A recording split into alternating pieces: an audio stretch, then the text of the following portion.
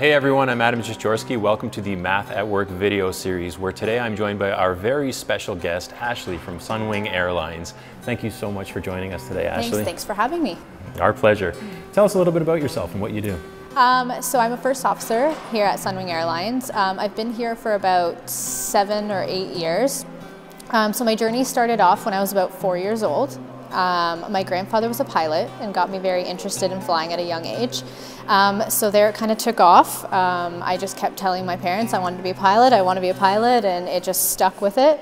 Um, I started my flight training when I was in high school, around 15, 16 years old, at a local flying school. Got my private license um, when I was 17, uh, just before college. I went to an aviation college where I got my commercial license and a seaplane rating. From there, I came back home and uh, went back to my local flying school where I got my instructor license and actually started teaching there.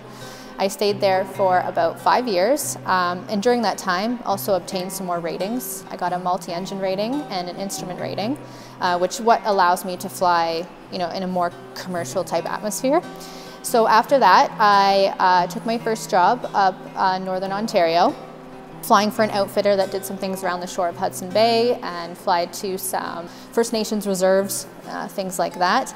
I did that for about a year. Um, then I came back down to the Toronto area, worked for a third tier connector airline, um, which I moved up to a training captain uh, position in after um, a few years there.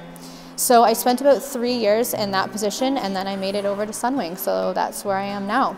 So here at Sunwing, uh, as I mentioned, I'm a first officer and I also teach um, ground school and IPT, which is Instrument Procedure Trainer. It's the first step in simulator training uh, for new hires. So that's where we are today.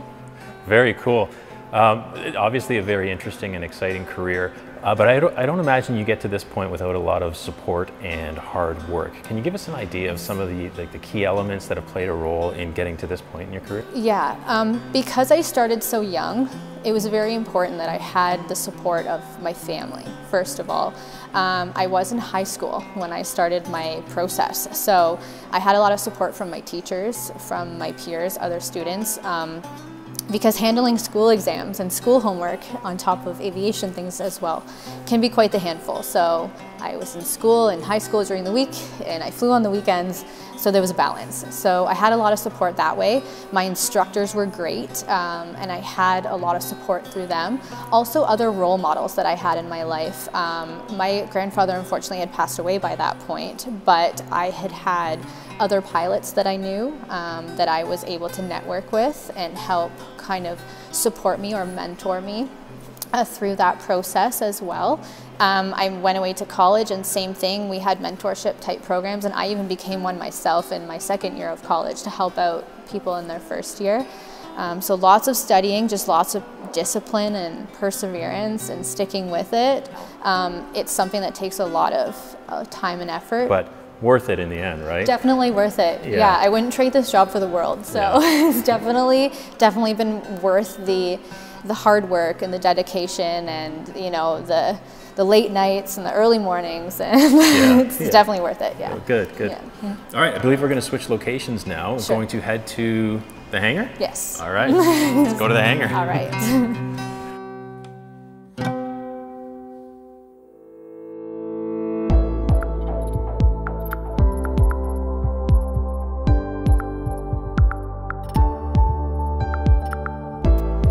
Here we are in the Sunwing Airlines hangar at the Toronto Pearson International Airport. We are standing in front of a 737NG, a Boeing 737NG, and this is very cool. Thanks so much for getting us in here, Welcome. Ashley. Uh, I imagine you see a lot of cool stuff in your job. Yes, and yes I, I do, definitely. Yeah, and I'm curious, what would you say, in your opinion, is the best part about being an airline pilot? Um, I can't just say one. So I would say it's that basically the, the environment's always changing. The scenery is always changing, if you want to put it that way. So uh, no flight's ever the same. Um, we have different aircraft, we have different crew, different passengers, different weather all the time. So it's like having the corner office all the time with a view. So always a new challenge every time you come to work and uh, it's just the ever-changing environment just keeps you on your toes and uh, it doesn't it doesn't really get boring. It's, it's quite enjoyable. I bet. That is so cool. Now I understand we have the privilege of actually going into one of these aircraft and actually Yes. visiting the flight deck. Yes. Yeah. And here we are on the flight deck of the Boeing 737NG, and this is unreal.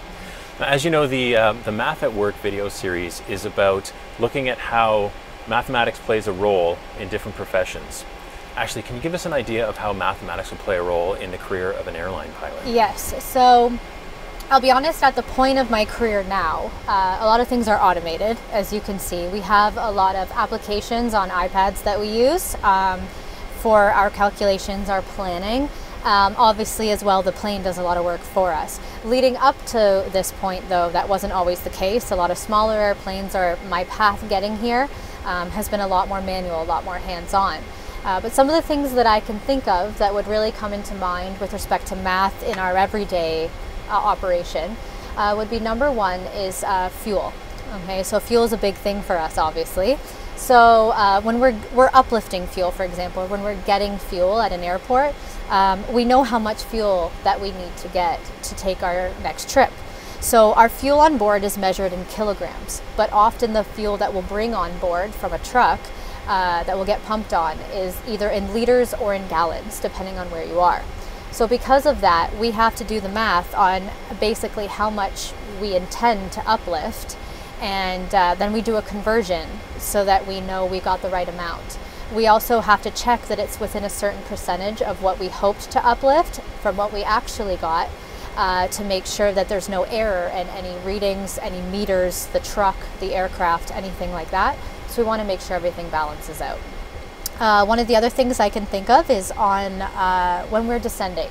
So when we're descending, again, the airplane does a lot of the work on its own with respect to its path calculations. But one thing that we do is we kind of mentally think about uh, roughly three nautical miles will pass for every thousand feet uh, that we want to descend. So if we think about it that way, if you wanted to descend 10,000 feet, for example, it should be something you would think about doing approximately 30 miles back from wherever you're planning to descend to. So simple math like that will help you judge when you should start uh, descending. Um, another thing that we do uh, with math is our crosswinds. So uh, when we're landing, we have a certain speed that we have to that we have to follow and hold on our approaches. So because of that, uh, there has to be some corrections with respect to winds. Is the easiest way we can put that.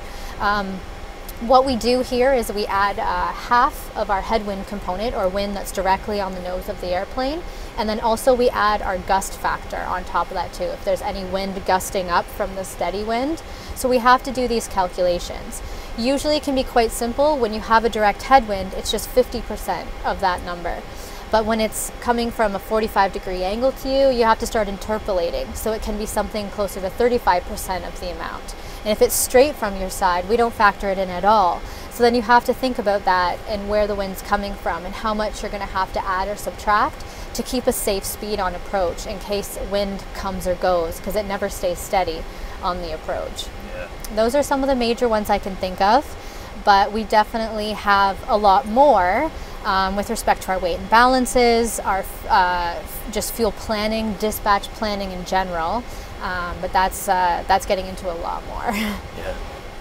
Well, thank you so much. We'll finish up with, uh, with one question. For any students out there that are interested in pursuing a career as an airline pilot, what advice would you offer them? Um, basically, to stick with it. A lot of people, um, again, it's kind of an unconventional career. It's not one that you would think most people would lean towards, um, especially for the ladies. Um, so there's going to be a lot of people that might uh, kind of think it might be far fetched or it might be, you know, something that might be out of reach, but it is definitely not. So just do the research. Um, ask your peers if you know anyone that's in aviation or any teachers that might know anything about it. They can help you get off on the right path. Um, it's so attainable, it's so doable, although it looks like it's something that you might have to reach far for.